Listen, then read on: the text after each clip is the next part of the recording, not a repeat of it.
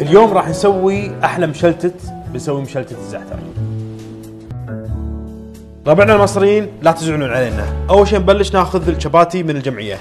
بحط أول شيء طحين. نحط طحين زيادة. بنفردها بنحاول نضعفها كثر ما نقدر. عندي الحين ثلاث حبات. أول طبقة بحط شوية زعتر. عندي ميكس هني خيش قوان وموتزاريلا.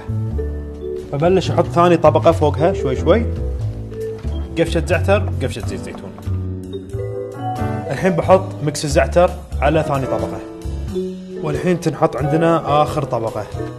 الحين بنسكر الأجناب. زين أول ما سكرنا كل الأجناب برد أفردها شوي وأدخلها الفرن. أحط عليها شوي طحين. شوي شوي بس أفردها.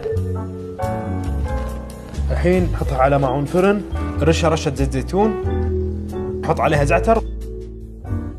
وندخلها فرن على درجة حرارة. 180 أول ما المشلتت تتحمش نطلع من الفرن